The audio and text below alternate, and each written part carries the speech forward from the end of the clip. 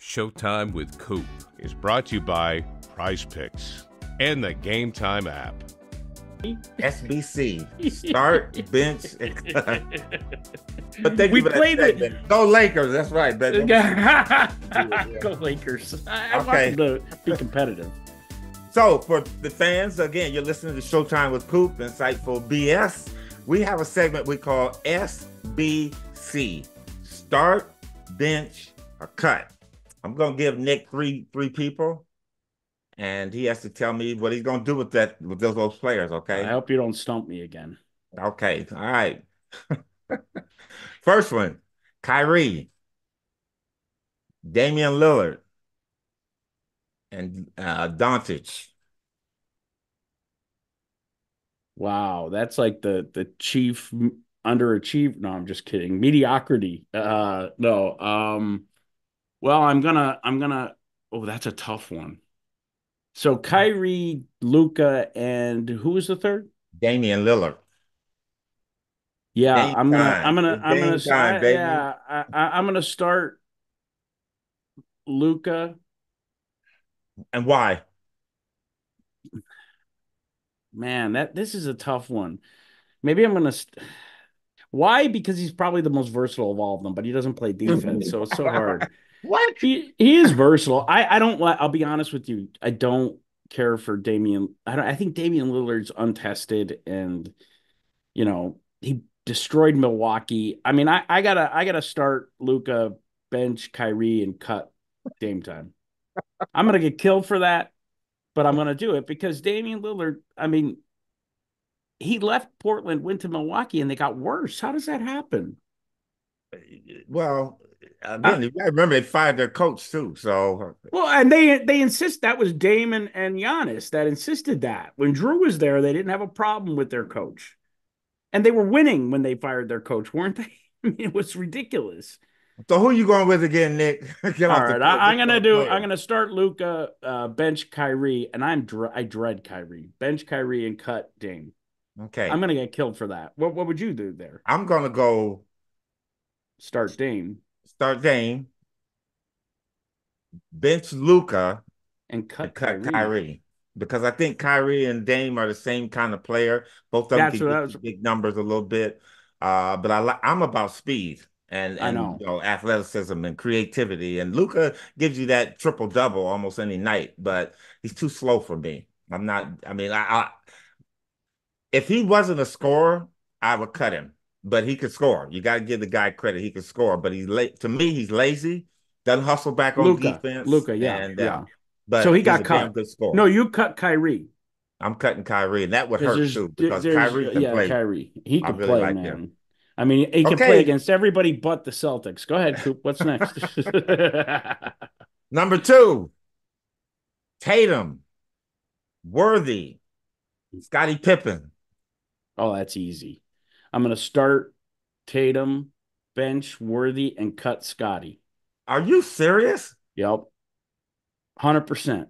Why? I'm not even hesitating because I because uh Tatum is dynamic. He defends. Now, He- Nick, listen. When you think about these, when, when I give I'm you, taking the Celtics. uh, don't think about uh them being older. Think about them being in their prime. I am, I am. I got you. I got you.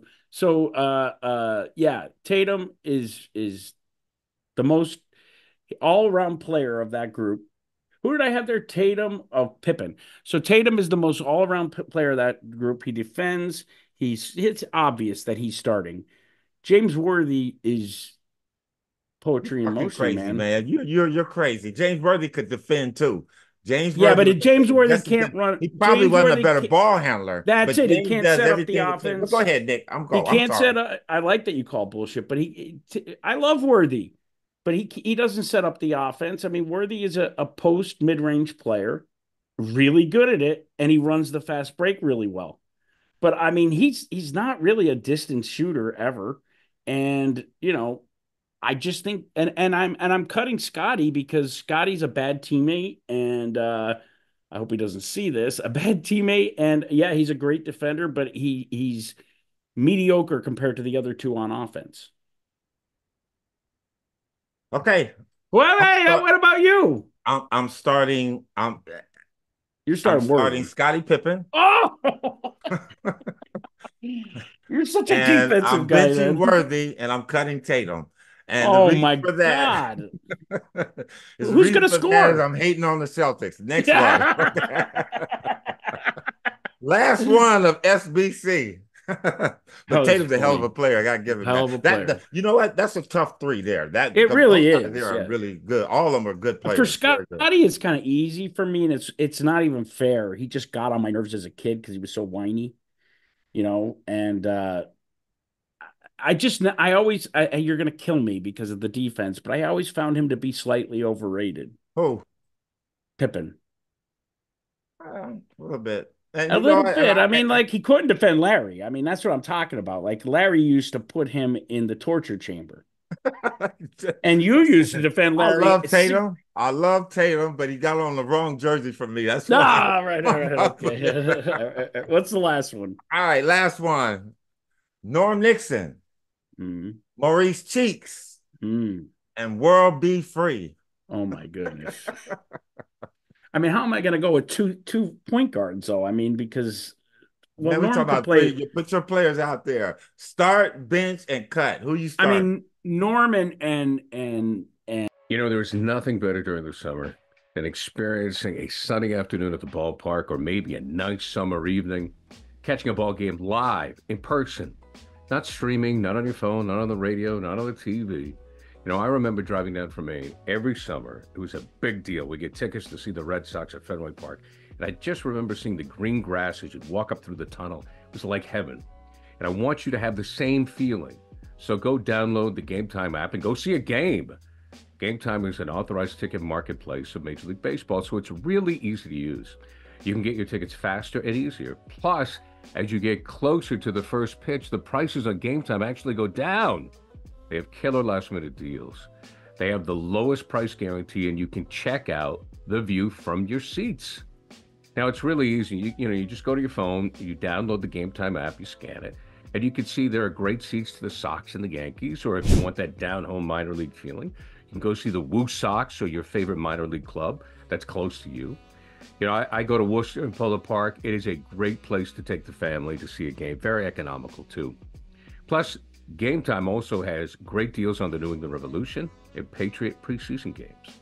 You can get last minute deals and save up to 60% off on sports, concerts, comedy, and theater. You can save even more when you choose the section and you let Game Time choose the seats. You always get the lowest price guarantee, or Game Time will credit 110% of the difference. So take the guesswork out of buying MLB tickets with Game Time. Download the Game Time app today, create an account, and use code CLNS for $20 off your first purchase. Terms apply. Again, create an account and redeem code CLNS for $20 off. Download the Game Time app today. Last minute tickets, lowest prices guaranteed. and uh you got to go with with cheeks. Wow, this is a tough one. I'm gonna cut Norm. I'm gonna have to start cheeks and come off the bench with World B. Free. I mean, this isn't even cl- easy. They're not even close to the same position.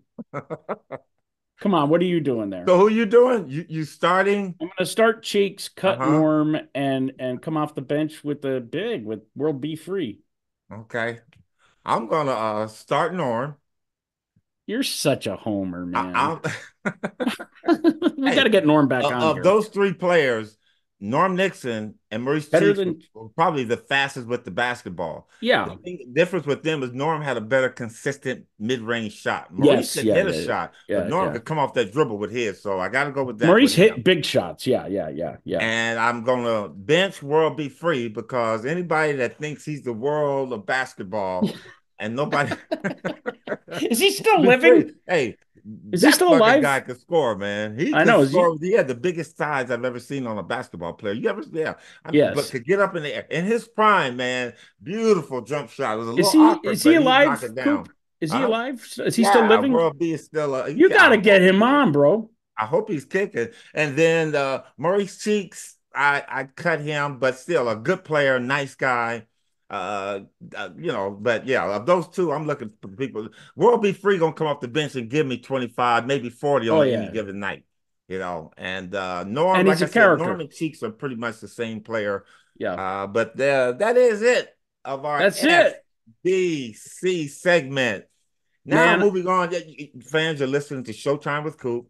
I'm I'm on with hater hater hater hater A Nick of the Los Angeles Lakers and loves the Celtics to where I believe that uh, when he poops, it's green. It doesn't matter what. and and sometimes it is.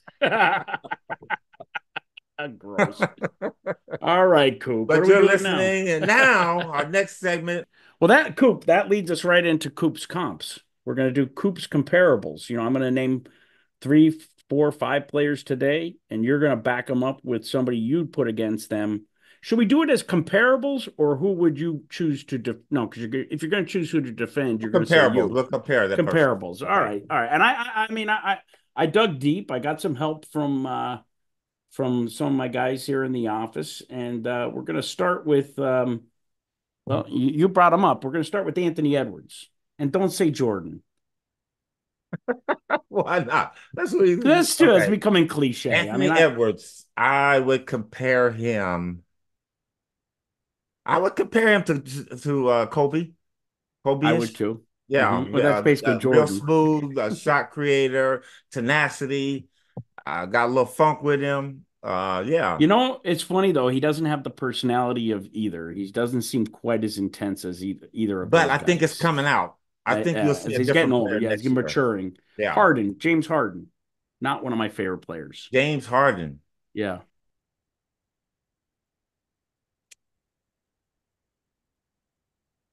That's a tough one. Huh? Um,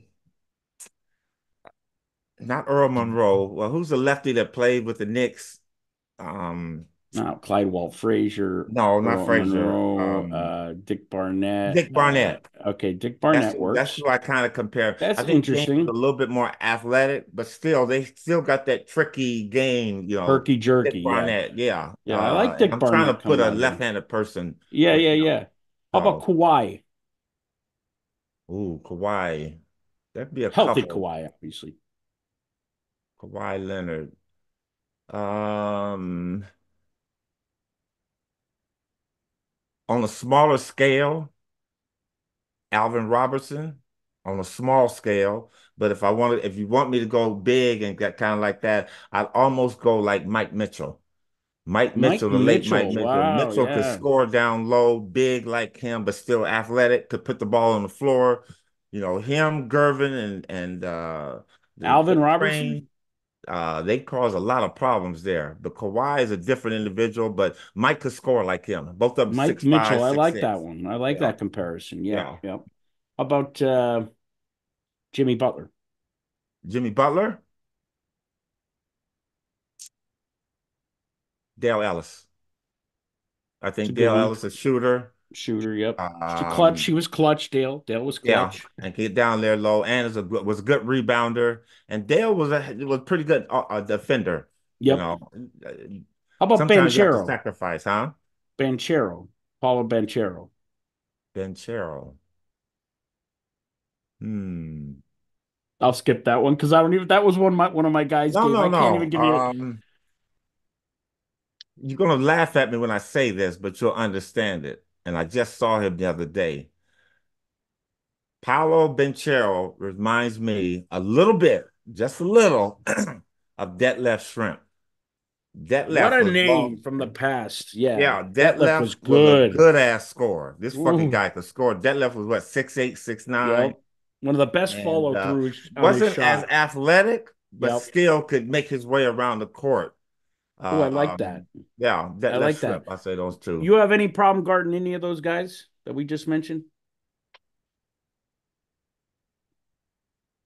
They're all I kind of Kawhi would give me problems a little bit because he's, physically strong. bigger.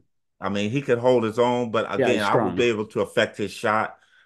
Uh, I, I was No. able to get around a lot of that, but I mean, I, I, I could, you know, if you're asking me if I could stop those guys, no. I, everybody can score, but I would make them take tough shots.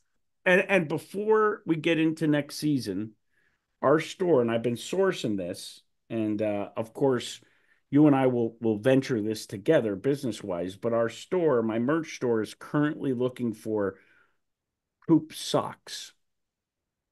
Michael Cooper socks. I have some. Do you? Found some in the bottom of my drawer that I'm gonna send you, Nick. Seriously, send me a pair, Coop, because I'm going to use them, and we're going to sell them because it's now it's getting popular to to wear your socks like you used to again. Trends we're gonna, go, Nick. Yeah, they, yeah, they, do, and they coming back. And I keep trying. Well, as long as those hot shorts don't come back, those short shorts, we don't. Are you crazy, shit. man? You guys saw a lot of leg. Hey, the girls like that. The girls, loved like it. yeah, because I'm not going to give crude, but anyway, Coop, this was fun. Um, next time we come back, we're going to have some guests. Oh yeah, got some great guests too. Uh, yeah, got some good guests. He's not going to give us anything, folks. He's not no, going I'm to not. tell us who's. But I got some. On. I got some good guests lined up because I'm. Tr- I'm tired of doing this with you because all we do is Lakers Celtics. I want to hear some other people talk. Yeah, and I want to shut my mouth and I need to hear some stories, man. That's what gets me going, and I can make a million segments out of it. And the fans love those mini segments. And we got to get your Instagram going with these guys too. So we'll put some on there this week too. But uh, Coop, this is fun. And there you have it, another episode what do we call that? In the can or in the box or in the trash can, wherever it is. We got whatever we got it is in the bucket. In the bucket. Thank you everybody for listening. Come back for more. See you later, Nick. Coop. Later, Coop. NBA History Channel is brought to you by Prize Picks and the Game Time app.